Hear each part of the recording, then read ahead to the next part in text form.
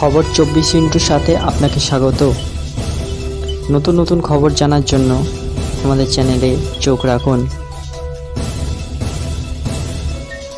গতকাল সোমবার দুপুরেই দিল্লিতে এসছেন মাননীয় মুখ্যমন্ত্রী মমতা বন্দ্যোপাধ্যায়। রাষ্ট্রপতি ভবনে জি কুড়ির শীর্ষ এক সম্মেলনে যোগ দিয়েছিলেন তিনি। এরপর আজ মঙ্গলবার দিল্লি থেকে ব্যক্তিগত সফরে পৌঁছে গেছেন আজমের শরীফ।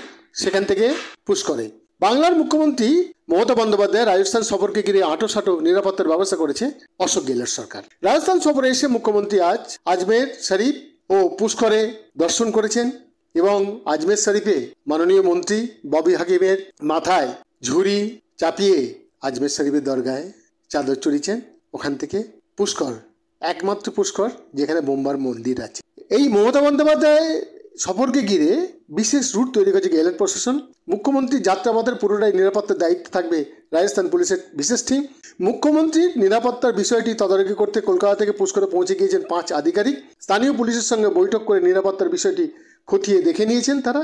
সূত্রের খবর, মুখ্যমন্ত্রী আজমের শরীফ ও পুষ্কর দু জায়গাতেই যাচ্ছেন এবং পৌঁছেও গেছেন।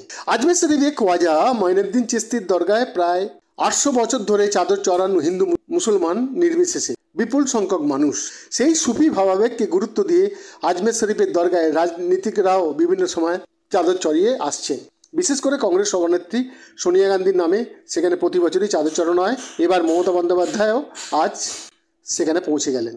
আজমের শরীফের অনেকদূরই পুষ্কর, বলা হয় সারা পৃথিবীতে একমাত্র পুষ্করই রয়েছে। ব্রহ্মার মন্দির পুষ্করের হ্রদের সামনে গিয়েও প্রার্থনা সারলেন মাননীয় মুখ্যমন্ত্রী। আজমের থেকে মমতা বন্দ্যোপাধ্যায় পুষ্করও ওনার শ্রদ্ধা জ্ঞাপন করেছেন।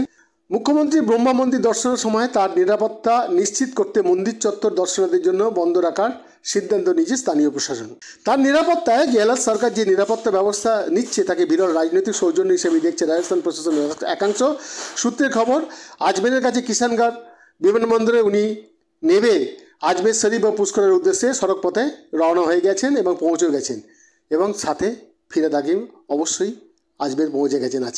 সবথেকে বড় কথা, আজ থেকে প্রায় তিরিশ বছর আগে বাবরি মসজিদ ধ্বংসের বর্ষপূর্তি এবং তৃণমূল কংগ্রেসের সংখ্যালঘু সেল প্রতি বছরেই এটা সংহতি দিবস হিসেবে পালন করে থাকেন। এবছরও তার অন্যতা হচ্ছে না।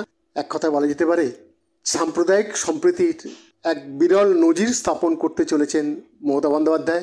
যে ভুল কোনো এক রাজনৈতিক দলের নেতা নেত্রীরা করেছেন, সেই ভুলের প্রাশ্চিত্যের জন্যে মমতা বন্দ্যোপাধ্যায় যে প্রাণপণ লড়াই, সেটাকে আমাদের খবর চব্বিশ সাত এবং আমাদের গ্রুপ অফ চ্যানেলের তরফ থেকে কুন্নিস কুন্নিস কুন্নিস। ভালো থাকুন, অনেক দিন থাকুন অসহায় মানুষের সেবার জন্যে। বৈদ্যনাথ দাসের রিপোর্ট খবর চব্বিশ সাত।